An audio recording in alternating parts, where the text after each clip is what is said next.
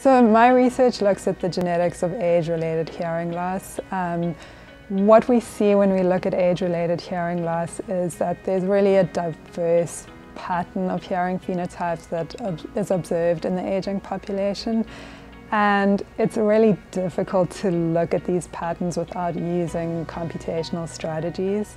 So what my group is going to do is we're going to use computational strategies to divide people up into different hearing loss groups and then try and identify genetic factors contributing to these different phenotypes using genome-wide association studies and single-cell sequencing.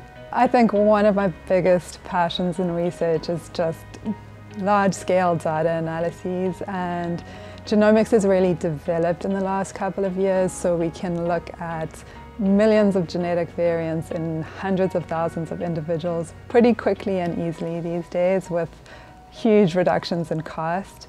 Um, and beyond this, we can actually look at uh, changes in gene expression at the single cell level. So it's really a very exciting time to be part of the genetics research field. Yeah, this, this funding is really important to my research. Um, it's going to provide us with the opportunities to generate these large-scale data sets which will really give us answers to the questions that we're looking at.